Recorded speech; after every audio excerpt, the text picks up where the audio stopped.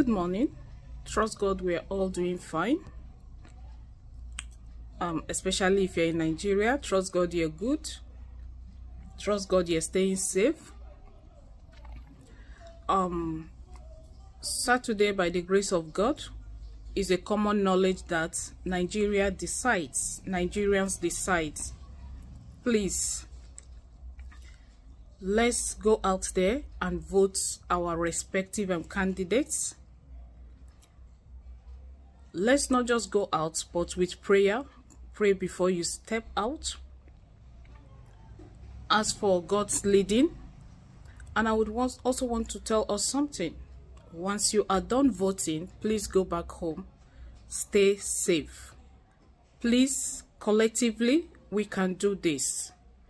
This is for us, our children, born and unborn.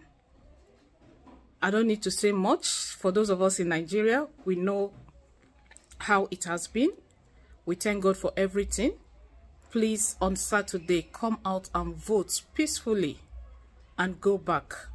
And let's see how it ends by the grace of God.